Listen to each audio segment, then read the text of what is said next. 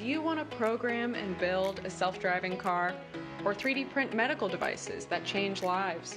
Do you want to continue your passion for model rockets or robots? Well, you're at the right place. At Tandon, pursuing those passions and more is at your fingertips through our vertically integrated projects, or VIP. These long term, large scale projects unite education, research, innovation, and entrepreneurship. You'll work hands on alongside graduate students and faculty to build something impactful together. With more than 40 projects to choose from, you're sure to find something that fires your imagination. So get ready for the type of experiential team learning that keeps things exciting and prepares you for a career in a field you love. Many projects take shape in our 10,000 square foot makerspace or our just off campus maker garage.